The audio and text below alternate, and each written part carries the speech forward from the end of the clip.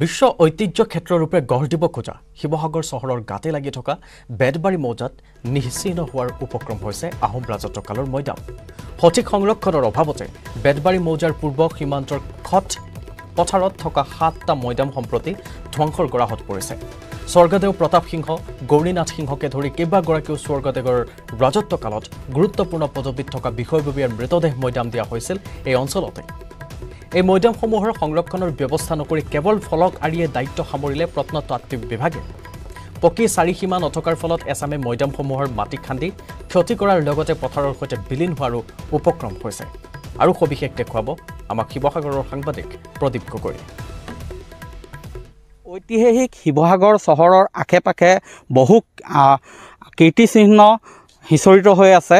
আহোম যুগৰ কীৰ্তিচিহ্নসমূহ কিন্তু সং সঠিকভাৱে সংৰক্ষণ নকৰাৰ ফলত জহি খহি গৈছে।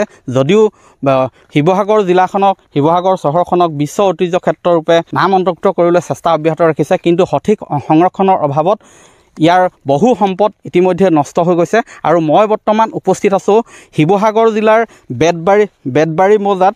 ইয়াত থকা সাতটা মৈদাম কোনো সঠিক সঠিক সংৰক্ষণ নকৰাৰ ফলত এই মৈদামসমূহ জহি খহি যাবলৈ আৰম্ভ কৰিছে। পথাৰৰ লগত বিলীন হোৱাৰ উপক্ৰম হৈছে আৰু বহু বিভিন্ন সময়ত ইয়াৰ সংৰক্ষণ নকৰাৰ ফলতে বাউণ্ডেৰী নথকাৰ ফলতে ইয়াৰ মাটিও খান্দি লৈ যায়। স্থানীয় ব্যক্তি আছে তেওঁলোকৰ পৰা জানিব বিচাৰিম হয় কেনেধৰণে ইয়াত জহি খহি কি কাৰণে নমস্কাৰ। এই মৈদামকেইটা আহোম ৰজাৰ দিনৰ মন্ত্ৰীসকলৰ মৈদাম।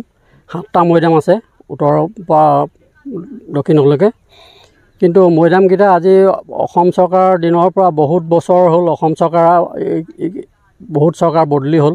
কিন্তু আমি আজিলৈকে দেখা নাপালোঁ যে কোনো এখন চৰকাৰে এই মৈদামকেইটা সংৰক্ষণৰ ক্ষেত্ৰত কিবা এটা আঁচনি লৈছে বুলি আমি গম পোৱা নাই। আৰু কাৰ্যক্ষেত্ৰত ইয়াক দেখা নাই আমি। ইয়ালৈ এই মৈদামকেইটালৈ অহা যোৱাও কিছুমান ইয়াৰ অসুবিধা আছিলে। কিন্তু এই অসুবিধাখিনি আমি গাঁৱৰ ৰাইজে ইয়াৰ স্থানীয় ৰাইজে গোট খাই লৈ আলোচনা বিলোচনাৰ মাজেদি আমি কেইজনমান ব্যক্তিয়ে ইয়াৰ মাটিৰ ৰাস্তাটোৰ কাৰণে যিমান প্ৰয়োজন হয় মাটিটো আমি আমাৰ নিজৰ নিজৰ মাটি এৰি দিয়া হ'ল ৰাস্তাটো মৈদামকেইটালৈ অহা যোৱা কৰিব সুবিধাৰ কাৰণে। আৰু মই ভাবোঁ অসম চৰকাৰে ইয়াৰ এই আহোম ৰজাৰ কীৰ্তিচিহ্নকেইটা যাতে সোনকালে অতি সোনকালে সংৰক্ষণৰ কোনোবা কোনো ব্যৱস্থা লয় আৰু এই ইয়াক পৰ্যটনৰ স্থলী হিচাপেও গঢ়ি তুলিবৰ কাৰণেও বহুত সুবিধা আছে। গতিকে অসম চৰকাৰক মই এইটো অনুৰোধ জনাইছোঁ বাৰে বাৰে যাতে এই মৈদামকেইটা সংৰক্ষণ কৰে। অতি সোনকালে যদি চৰকাৰৰ পক্ষৰ ফালৰ বা প্ৰত্নতান্ত্ৰিক বিভাগৰ ফালৰ পৰা যদি ৰক্ষণাবেক্ষণৰ ব্যৱস্থা লয় এই সকলোখিনি এই পুৰাত এই তাত্বিক এই বস্তুকেইটা নিৰাপদ হ'ব আৰু ৰাইজো সন্তুষ্ট হ'ব। আমি এইটো অতি সোনকালে হ'বলৈ আমি ইচ্ছা প্ৰকাশ কৰিছোঁ। ধন্যবাদ। হয়। মাত্ৰ এখন ফলক লগাই দায়িত্ব সামৰিছে প্ৰত্নতাত্বিক বিভাগে আৰু এই কেৱল ফলকতে সীমাবদ্ধ নাথাকি যাতে ইয়াৰ সঠিক বিজ্ঞানসন্মতভাৱে সংৰক্ষণৰ ব্যৱস্থা কৰে তাৰ বাবে আহ্বান আহ্বান জনাইছে স্থানীয় ৰাইজে। ধন্যবাদ প্ৰদীপ গগৈ। আহিছোঁ এই মুহূৰ্তত কেইটামান টুকুৰা খবৰ জনাবলৈ। ডিগবৈ আঞ্চলিক ছাত্ৰ সন্থাৰ তৰফৰ পৰা কভিড মহামাৰীৰ লগত জড়িত কভিড যোদ্ধা হিচাপে পৰিচিত চিকিৎসক তথা চিকিৎসা সম্বৰ্ধনা জ্ঞাপন কৰা হৈছে। মহামাৰী কভিডকালীন পৰিস্থিতিৰ মাজতো নিজৰ জীৱনক তুচ্ছ জ্ঞান কৰি সততা আৰু নিষ্ঠাৰে কৰ্তব্য পালন কৰা চিকিৎসক চিকিৎসা কৰ্মী আৰু চাফাই কৰ্মীৰ লগতে ডিগবৈ চহৰৰ বিভিন্ন সামাজিক অনুষ্ঠানে প্ৰতিষেধক প্ৰদান কৰি মানৱ সেৱা কৰি থকা প্ৰায় চল্লিছগৰাকী ব্যক্তিক সম্বৰ্ধনা জ্ঞাপন কৰে। উক্ত অনুষ্ঠানটিত স্বাস্থ্যসেৱাৰ লগতে জড়িত যোদ্ধাসকলক একোখনকৈ ফুলাম গামোচাৰ লগতে একোখনকৈ স্মাৰক পত্ৰও প্ৰদান কৰা হয়। খবৰ জনাম বশিষ্ঠৰ। বিগত কিছুদিনৰ পৰা মোবাইল নেটৱৰ্ক সেৱা বিঘ্নিত হোৱাৰ বাবে প্ৰতিবাদী কাৰ্যসূচী লৈ সদৌ অসম উন্নয়ন পৰিষদ নামৰ সংগঠনটোৱে। সংগঠনটোৰ বিষয়ববীয়াসকলে মহানগৰস্থিত এয়াৰটেল ভোডাফোনৰ কাৰ্যালয়ত উপস্থিত হৈ ইণ্টাৰনেট আৰু নেটৱৰ্ক সেৱা উন্নত কৰাৰ দাবীত স্মাৰক পত্ৰ প্ৰদান কৰে। অনলাইন যোগে পাঠদান আৰু পৰীক্ষা অনুষ্ঠিত হোৱাৰ বাবে ছাত্ৰ ছাত্ৰীৰ সুবিধাৰ্থে নেটৱৰ্ক সেৱা উন্নত কৰাৰ দাবী জনায়। দিনে নিশাই এতিয়া বন্য হস্তীৰ মুক্ত বিচৰণ নগাঁও জিলাৰ চামগুৰিৰ বিভিন্ন অঞ্চলত চামগুৰিৰ পদুমনিৰ এখন ব্যক্তিগত চাহ বাগিচাত এটি বন্য হস্তীৰ দিন দুপৰতে মুক্ত বিচৰণ। নিশাৰ ভাগলৈ অঞ্চলটোৰ মানুহৰ ঘৰত প্ৰৱেশ কৰি চলাই উপদ্ৰৱ। বন্য হস্তীকেইটাই দিনে নিশাই সৃষ্টি কৰা ত্ৰাসৰ পৰা ৰাইজক সকাহ দিবৰ বাবে তথা হাতীকেইটা কাৰ্বি পাহাৰলৈ খেদি পঠিয়াৰ বাবে বন বিভাগৰ লোকে অঞ্চলটোত কেতিয়াবাই উপস্থিত হৈ চেষ্টা চলাই আহিছে কিন্তু আজিলৈকে হ'ব পৰা নাই সক্ষম। খবৰ হাজোৰ।